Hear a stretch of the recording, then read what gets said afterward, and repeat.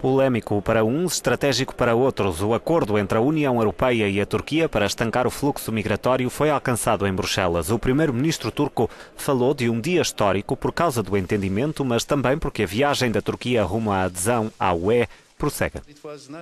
Foi uma história de sucesso, não só por causa dos resultados, mas também por causa dos métodos. Partilhamos as nossas visões, as nossas preocupações, as nossas perspectivas.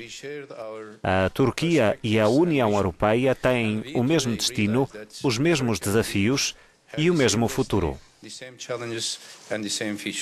A chanceler alemã, uma apoiante de peso do acordo entre os aliados estratégicos, tinha-se manifestado cautelosamente otimista e mantém o registro.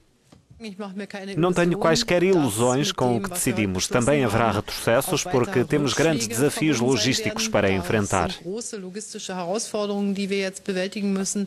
Chipre chegou a ameaçar bloquear o acordo porque mantém uma contenda histórica com a Turquia e exige o reconhecimento por parte de Ankara. Acredito e espero que nos ajudem na prática com o processo de negociação e no nosso próprio esforço para encontrar uma solução duradoura e pacífica para a questão cipriota.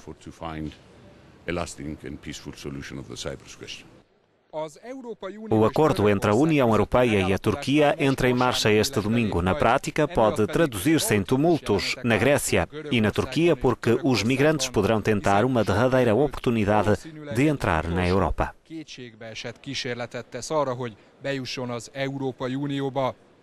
Zsíros Sándor, Euronews, Brüsszel.